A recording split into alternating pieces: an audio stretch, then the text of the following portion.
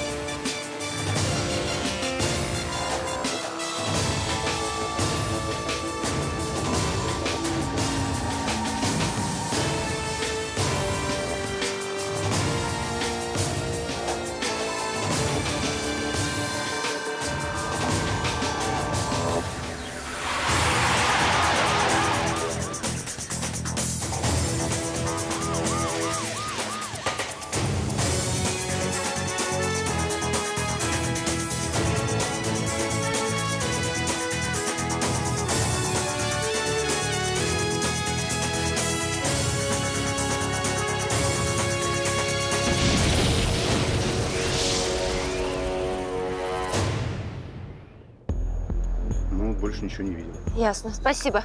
Не уходите никуда. Ага. Ну что, Степ, Кровь. А ты что хотела? я бы хотела, чтобы все это оказалось розыгрышем. Ой, как же меня ломает работать в праздники. А мне нравится работать, особенно на 8 марта. Да. Ну смотри, вот расскажу твоей. Не надо. Ты лучше расскажи там, кто кого похитил. Расскажу, расскажу. Значит, гражданин Фурсов Арсений Николаевич обнаружил под дворниками автомобиля своего начальника записку. Два миллиона рублей, если денег не будет, Лапшин будет убит. А брызги крови на автомобиле убедили его в серьезности намерений. А Лапшин э, это кто? А говоришь, любишь работать в праздники, Степ? Лапшин, начальник. Виталий Юрьевич. А этому начальнику Лапшину кто-нибудь пробовал просто позвонить? Ну, Прежде чем вызвать полицию, Фурсов позвонил начальнику. И вот что услышал. М, Понятно. О, может, это сам Лапшин тебе перезванивает, а? Дождешься от него. Холодов? Да, Андрей. Кажется, мне не рады, мне перезвонить на недельке. Что цену себе набиваешь? Говори. Я тоже рад тебя слышать. Машина, на которой лежала записка с требованием выкупа Лапшина, действительно принадлежит Лапшину. А что-то полезное ты можешь сказать? Да, конечно. Уши отрываются легче, если их тянуть к затылку. Он что, издевается надо мной? Не-не, я тоже такое слышал. То есть вы оба надо мной издеваетесь? Нет, серьезно, ты как-нибудь э, проверь, только не на мне.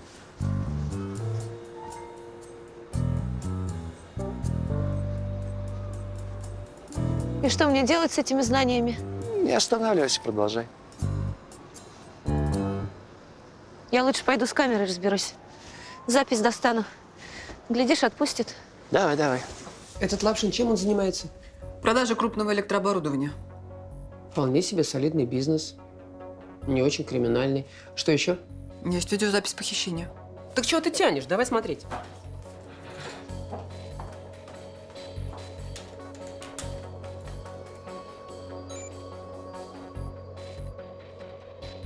Можно увеличить изображение?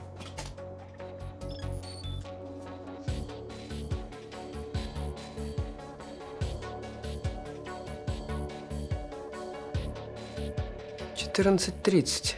А когда пропал из сети телефон Лапшина? В 14.00. Может, он кого-то ждал и отключил заранее? Давай досмотрим до конца.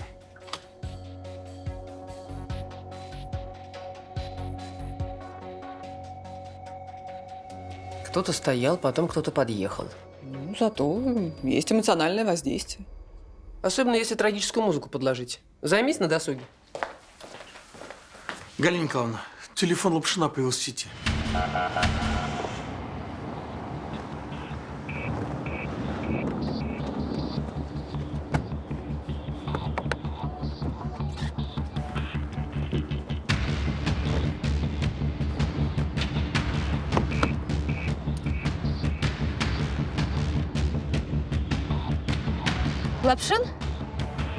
Лапшин Виталий Юрьевич. выходите из машины. Вас же похитили. Кто? Это ты его? Да когда бы, Степ? Так, я вообще ничего не понимаю. Давайте садитесь к нам в машину. И вы тоже. Я же вам говорю, меня никто не похищал. Я вышел с работы купить цветы жене и теще. Вы вообще в курсе, какой завтра день? Ну, что слышал. А цветы где? Не успел купить. Вы меня на полдороги перехватили. А это тогда кто? А Бог его знает. Разве тут разберешь? Степа, взгляни, пожалуйста. Какая любопытная переписка между гражданином Лапшиным и абонентом налоговой инспекции. Она пишет, во сколько тебя ждать? Я объясню. А Виталий Юрьевич ей отвечает, буду в два. Очень соскучился. Слушай, я никогда не видел человека, который так бы соскучился по налоговой инспекции. Я тоже. Лапшин отключил свой телефон в два. И свидание с налоговой у него было назначено на два. Мне кажется, что у каждой такой инспекции есть имя и фамилия. Я тоже думаю, что это ее творческий псевдоним. Настоящее имя Истомина Людмила Андреевна. Она ничего такая. И псевдоним ей очень подходит. Скотина! Сволочь! Негодяй! Не понял. Э, Это я не вам.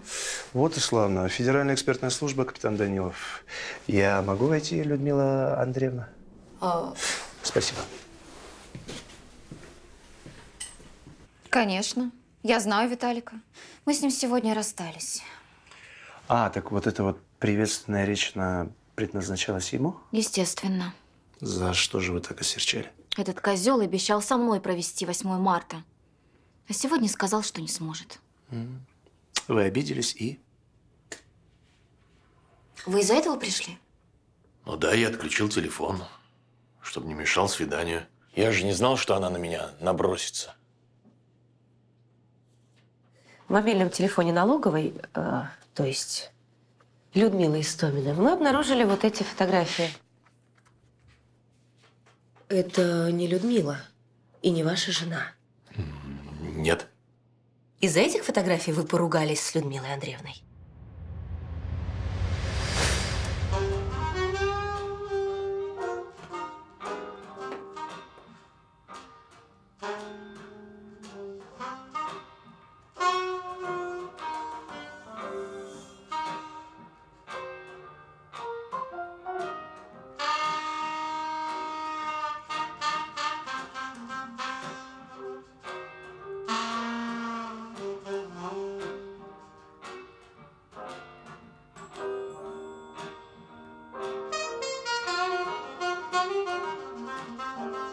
Открывай.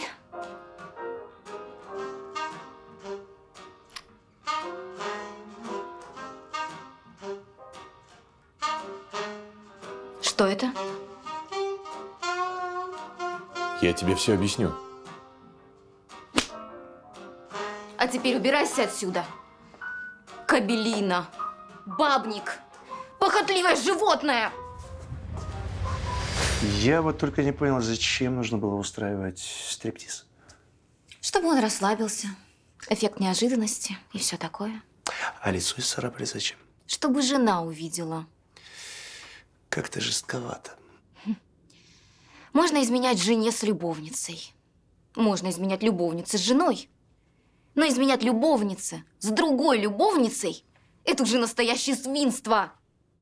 В Москве 7 марта на офисной автостоянке похищен неизвестный мужчина. Преступники приняли его за директора торговой компании Виталия Лапшина. Следствие выясняет, что в момент похищения Лапшин был у своей любовницы Людмилы Истоминой.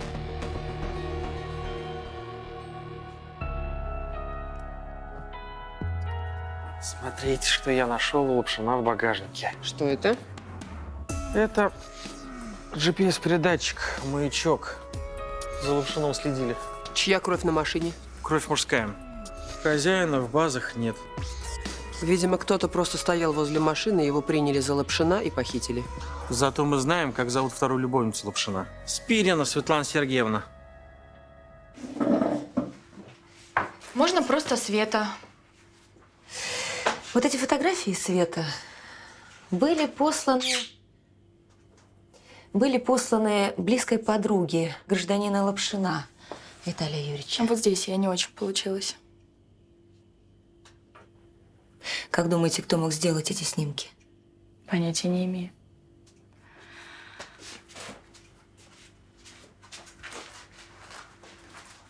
Но мне прислали похожие.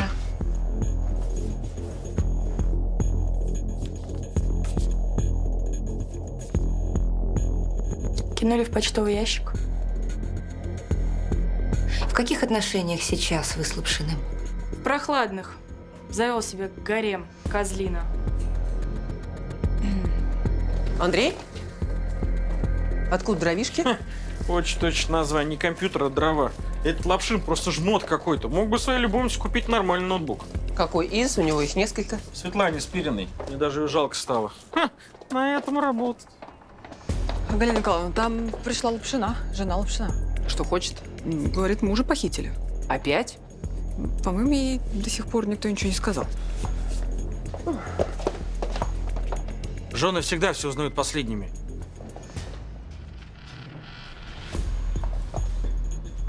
Здравствуйте, Лапшина Марина Игоревна. Вот, смотрите, мне сообщение пришло, вот. Подождите плакать. Ваш муж в безопасности. Какой безопасности? Тут же сказано, что нужно собрать деньги до 9 марта, иначе его убьют. Пойдемте, я вам все объясню. Вместо вашего мужа похитили другого человека. Что это как? По ошибке. Пойдемте.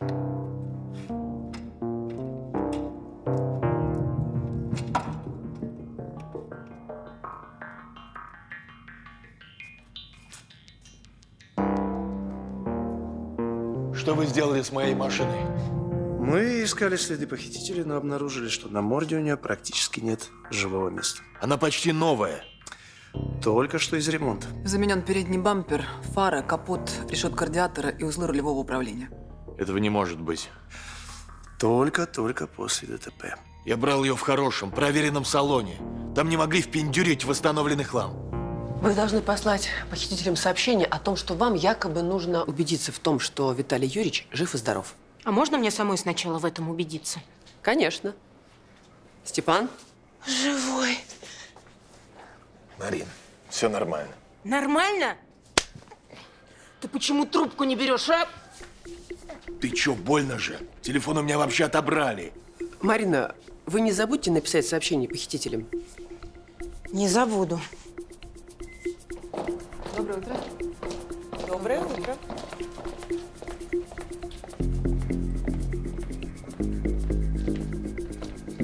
Доброе утро. Доброе утро. Здравствуйте. Привет, Андрюш. Привет. Ух ты, как мило. Это ты меня поздравляешь? Не я. А, Мужской коллектив тебя поздравляет.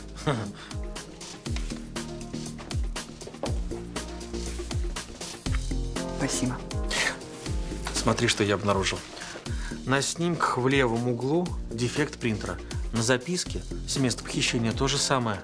Значит, фотография и записка напечатаны на одном принтере.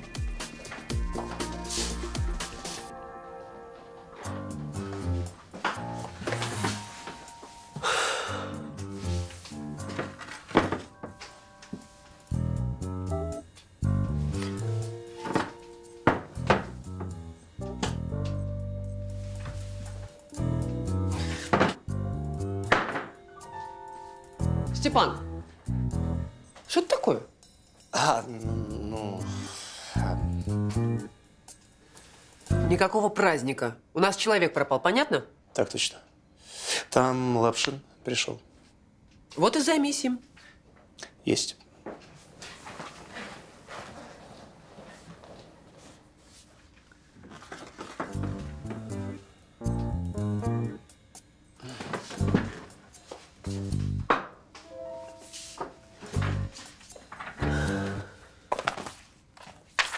Я вспомнил. Неделю назад я уезжал в командировку. Так торопился, что часть документов оставил в машине. А при чем здесь документы?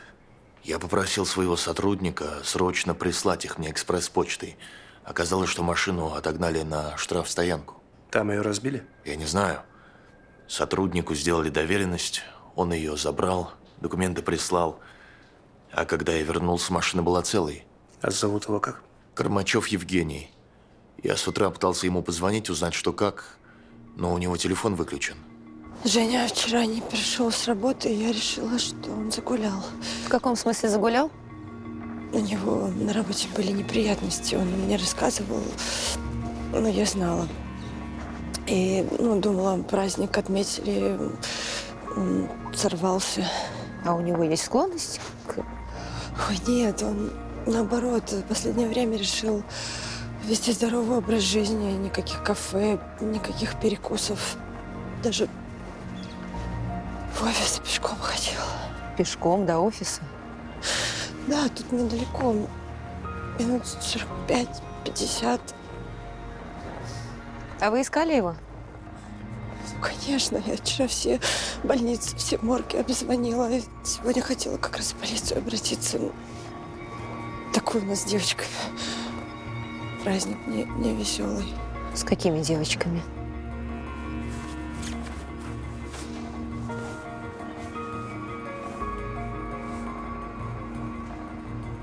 Вера и София. Дочки наши.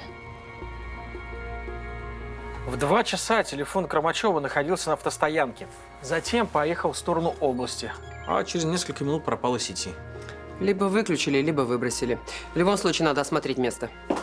Галина Николаевна, приехала Марина Лапшина. Похитители прислали ей видеозапись. Наконец-то увидим похищенного.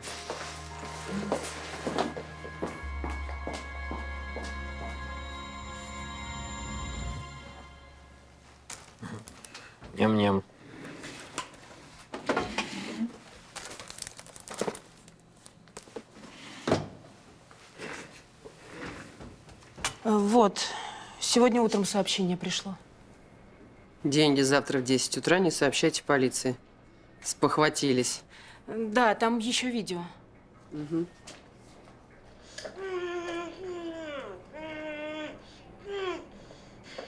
Вы знаете этого человека?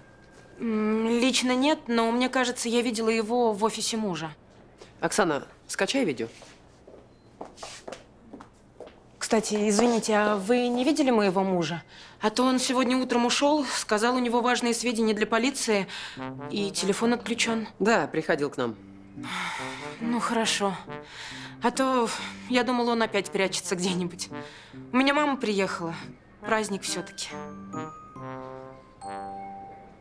Виталий Юрьевич, э, посмотрите запись.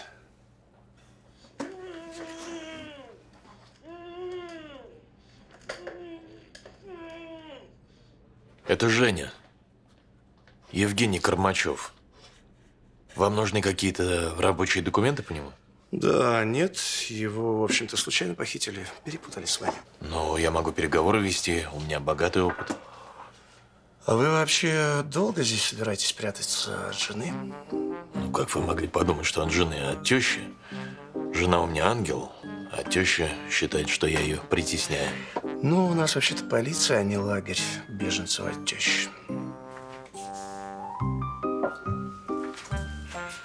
А вот я тебя и нашла.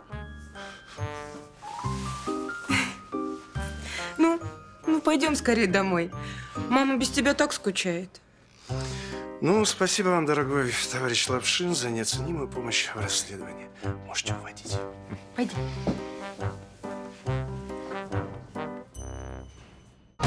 СПЭС расследует похищение сотрудника торговой компании Евгения Кормачева. 7 марта преступники похитили его по ошибке вместо директора фирмы Виталия Лапшина. Накануне любовницы Виталия получили интимные фотографии Лапшина в объятиях соперницы.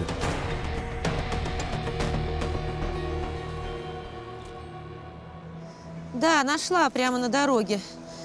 Ну, вернее, то, что от телефона осталось. Его тут раскатали на несколько частей.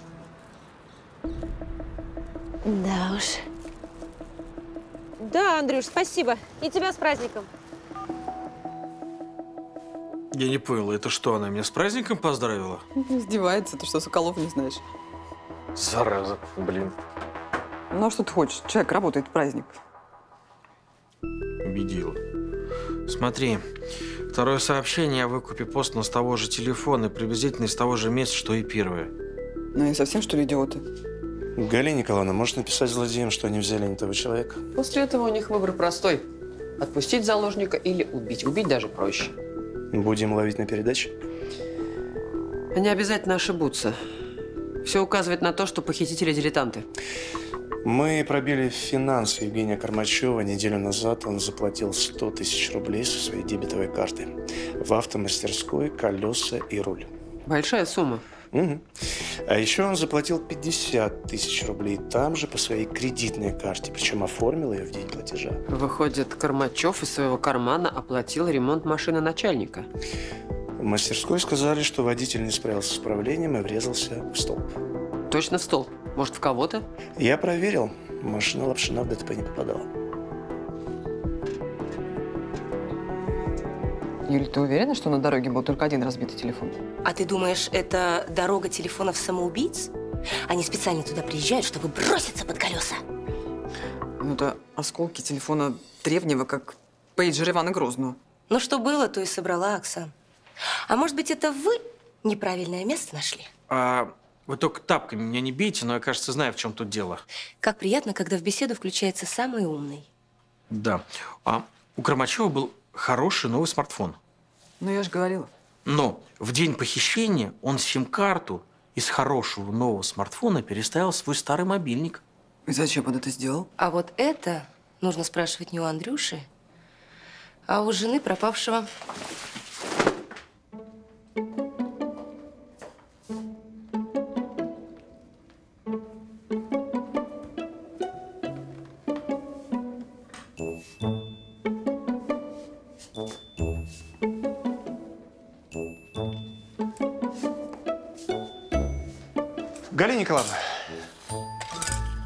Что случилось? я понял, почему Кормачев ходил на работу пешком и почему отказался от кафе и столовых. Здоровый образ жизни? У него не было денег, и все деньги, которые у него были, он отдал за ремонт машины Лапшина. Не понимаю, зачем было скрывать это от хозяина машины? Кормачев лишился бы и работы, и денег, а так только денег.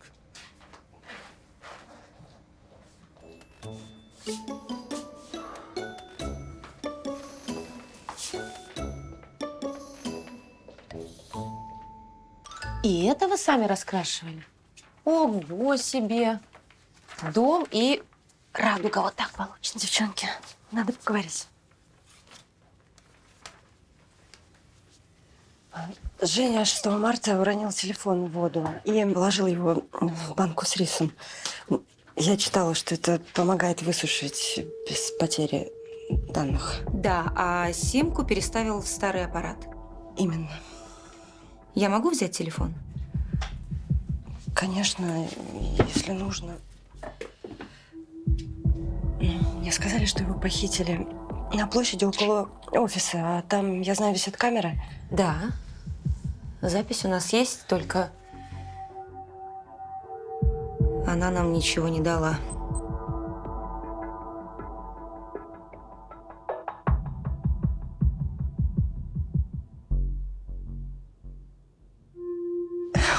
Коробкой. Это, наверное, подарки мне и девчонкам. Женя всегда так заботился.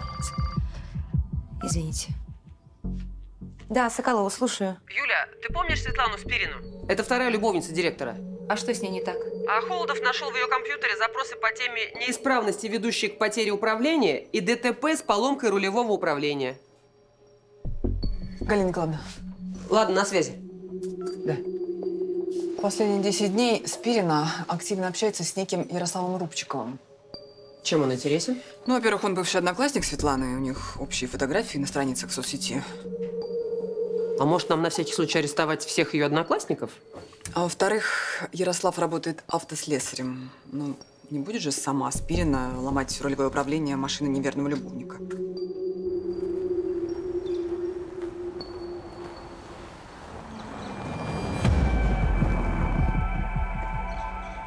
Ярослав Константинович э, Рубчиков? Ага. Как же я люблю забеги в праздничные дни.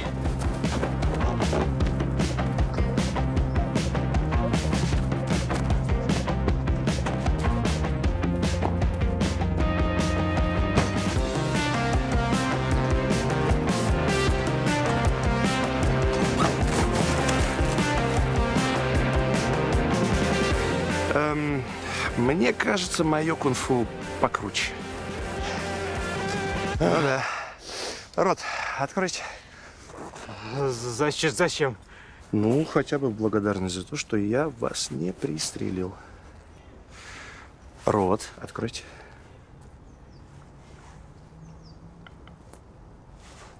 Закрывай.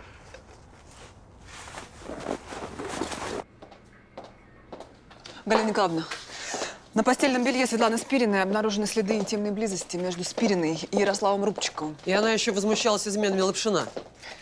На рукаве куртки Рубчикова найдены следы машинного масла. Ну, вообще-то автослесарь. Его сервис работает с японскими и корейскими машинами, а у Лапшина немецкая машина, там совсем другое масло. Ясно, спасибо. Светлана попросила меня повредить рулевое управление. Вы понимали, что это уголовное преступление? Покушение на убийство до 15 лет, лишение свободы. Я сделал так, что тачка сразу сломается, как только поедет. Он не успел бы даже скорость набрать. И потом, я не мог ей отказать. Почему? Я ее со школы люблю. Сколько она вам заплатила? 50 тысяч и 10 свиданий. Ну, то есть я просил 10, а договорились мы только о 7. Но три она уже... Заплатила. Ну да, типа того. Машина где стояла, когда вы ее ломали? А, на стоянке около дома. Я только-только закончил, подъехал эвакуатор, и я еще подумал, слава богу, никто не пострадал.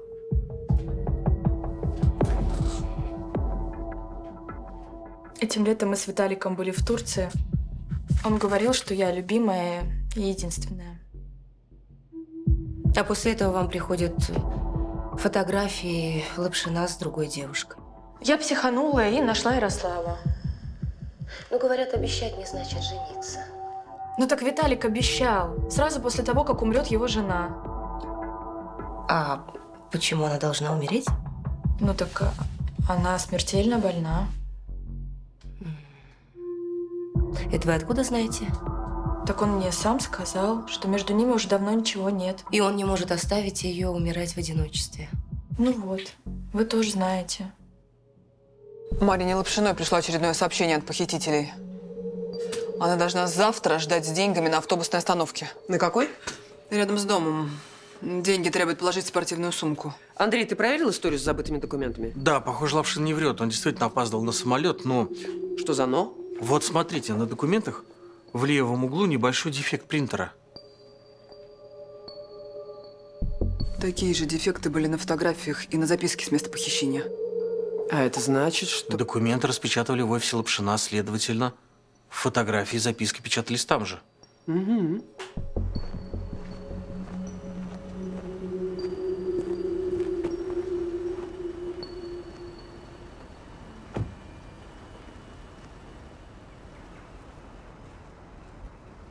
Так, ну вы готовы? Да, такая подойдет? Ну, то, что надо. Злодеи сказали. Спортивная сумка. Пойдемте.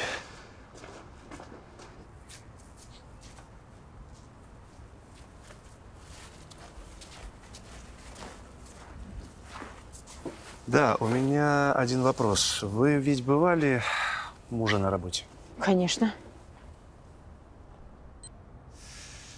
В день, когда любовница вашего мужа в почтовый ящик подбросили его фотографию с другой любовницей, вы были в районе ее дома.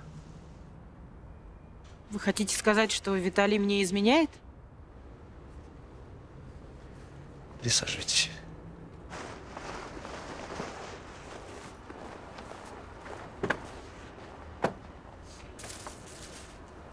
В вашем домашнем компьютере найдены интимные фотографии Виталия Юрьевича с его двумя очень близкими подругами. У нас очень мало времени. Нужно ехать на передачу денег. Ну, я давно заметила, что у мужа кто-то появился. Наняла знакомого. Оказалось, их сразу две. Ну, на самом деле, это даже лучше. Почему? Их можно было стравить друг с другом. Одной я отправила фотографии на телефон, а другой положила в почтовый ящик. То есть вы заказали похищение мужа? Если бы это была я, разве моего мужа с кем-нибудь перепутали бы? Все готово, можно ехать. Угу. Пойдемте.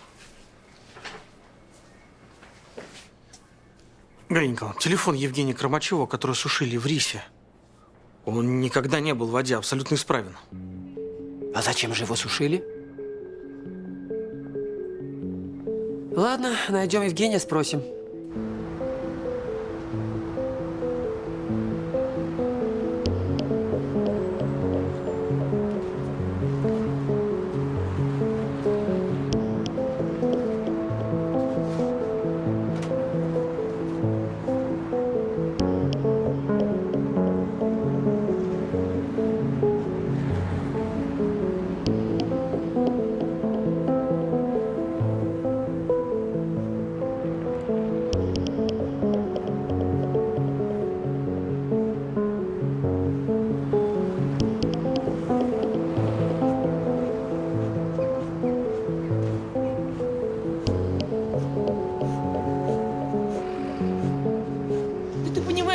Что человека убил, а? Галина Николаевна, ну, передача денег у нас, похоже, не состоялась, а вот семейная разборка уже началась. Ты, главное, следи, чтобы они не поубивали друг друга. Ясно, ну тогда я пошла. Из-за твоей ревности его убили. Хватит орать. Что? Да если бы ты по бабам своим тупым не ходил, ничего бы вообще не было бы. Так, прекратите оба. Ну как вы не понимаете, человека криком не вернуть.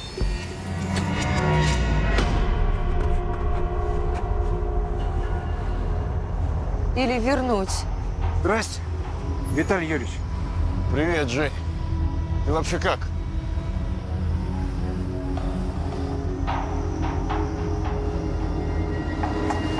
Тихо, тихо, тихо, тихо, тихо. Ты чё? Граждане, Федеральная экспертная служба.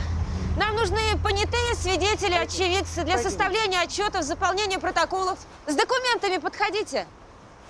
И мне, наконец, удалось доказать ему, что я не Лапшин. Похитителя сможете опознать? Нет, он был в маске. А мне потом мешок на голову надели. Я в нем два дня просидел и вообще ничего не видел. Разрешите, Галина Николаевна? Да, проходи. Ты принесла, что я просила? Конечно. На шее сзади. Вы позволите?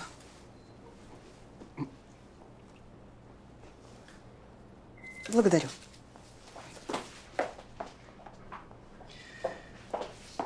У вас в крови найден этиловый спирт. Э, Меня заставляли пить, чтобы я не сопротивлялся. На шее Евгения Кормачева частицы белой краски. Испачкался вместе заточения? Нет, их там много. Как будто что-то красил, причем совсем недавно. За одно-два мытья краска сошла бы. Я пробил телефон Иди сюда. Среди тех, с кем он связывался последнюю неделю, есть Дмитрий Шаров. А у Шарова есть внедорожник. Ты на это намекаешь? Чей-то я намекаю. Говорю прямым текстом с картинками.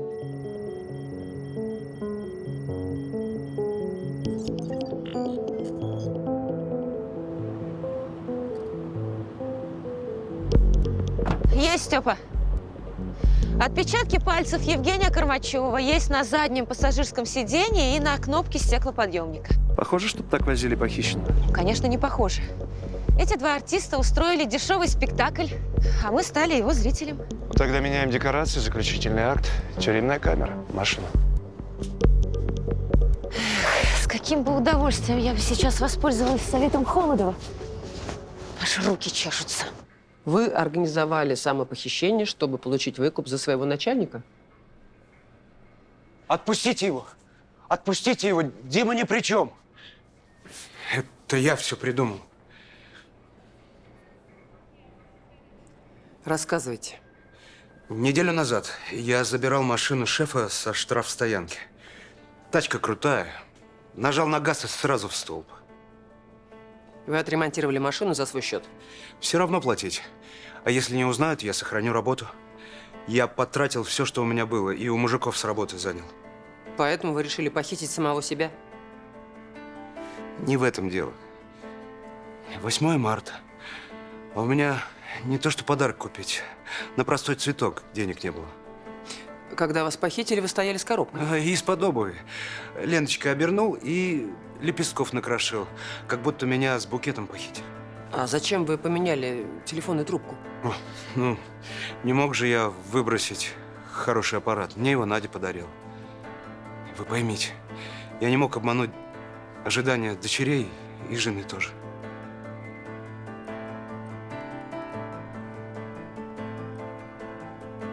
Кормачев договорился со своим приятелем, чтобы тот помог ему разыграть похищение. Как будто по ошибке похитили вас. Сколько он ему заплатил?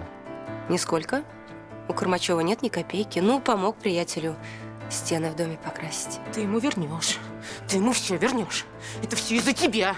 Это твои бабы машину сломали. Это все из-за тебя, козел похотливый. Все, понял, заплачу. И начинай только опять. Не начнем. Я тебя так не начну. Я тебя так по голове не начну. Сейчас еще маме расскажу, как она вообще...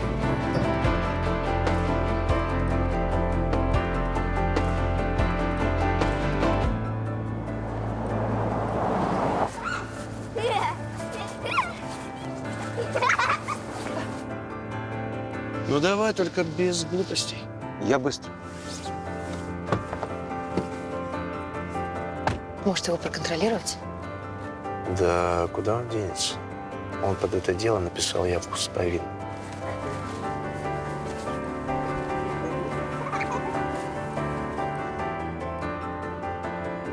А кому букет? Так это ж вы и подарили, никогда дома не довезу.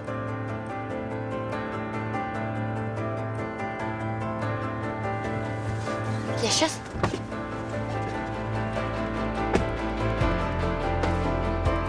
Евгений! Вы же букет забыли. Хорошего вечера.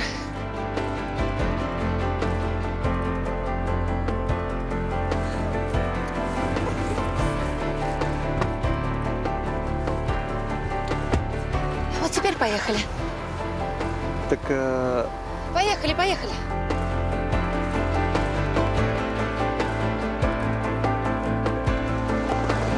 Галина Николаевна!